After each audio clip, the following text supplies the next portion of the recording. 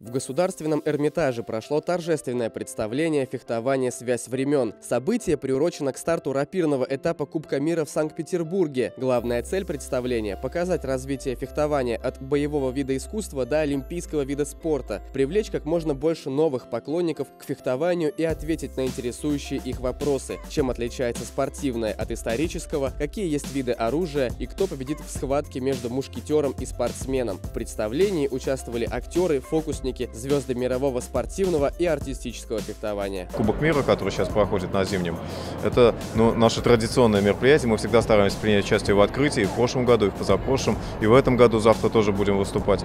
Ну и когда Михаил Анатольевич, президент Федерации, предложил ну, как-то принять участие в празднике, в Эрмитаже здесь, ну, конечно, мы согласились. Сегодня очень интересно, я на самом деле вообще не знакома с артистическим фехтованием, сегодня было очень интересно посмотреть, что я первый раз вообще видела и так удивилась, что тут происходит.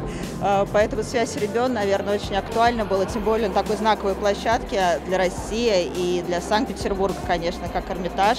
Все были очень рады именно фехтовальщикам, такое хорошее отношение, потому что я всегда говорила, фехтование это больше, чем спорт это искусство. И сегодня день это яркое там подтверждение. Конечно, э, нам еще в этом плане нужно развиваться, но то, что есть такие э, мероприятия, и благодаря таким энтузиазмам, как Миша, спасибо ему огромное, что делает э, такие вещи для популяризации нашего любимого вида спорта. Только положительные оценки, только хочется им пожелать в этом дальнейших успехов, конечно же. Вот. И рады будем помочь, чем можем, даже в своим присутствием.